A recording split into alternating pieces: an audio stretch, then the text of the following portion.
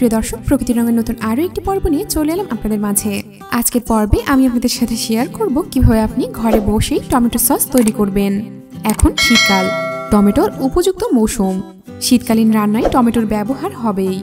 আর sauce তো সারা বছরই দরকার। মুখরোচক যে কোনো খাবারের সঙ্গেই প্রয়োজন হয় সসের।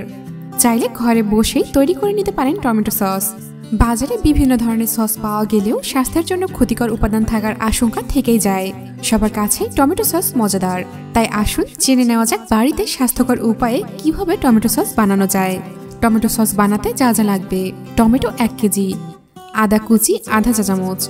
রসুন কুচি আধা চামচ। শুকনো মরিচ তিন থেকে চারটি। সিরকা আধা কাপ। চিনি স্বাদ মতো।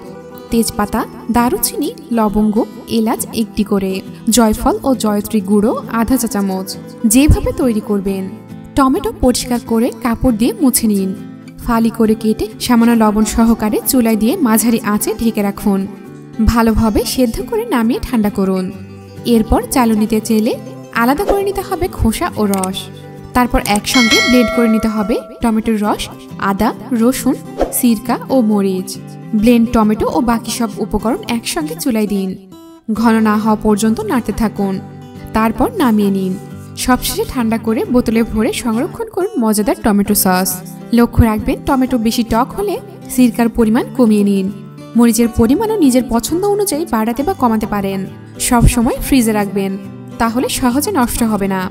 গরম জায়গায় একদমই রাখা চলবে না। তাহলে দর্শক, এই ছিল আমার আজকের ভিডিও। আশা করছি ভিডিওর তথ্যগুলো আপনার উপকারে আসবে। ভিডিওটি ভালো লাগলে বন্ধুদের সাথে শেয়ার করুন। এবং আপনি যদি এখনও আমাদের চ্যানেলটি সাবস্ক্রাইব না করে থাকেন, তবে এখনই সাবস্ক্রাইব করে পাশের বেল বাটনটি ক্লিক করে রাখুন। ধন্যবাদ।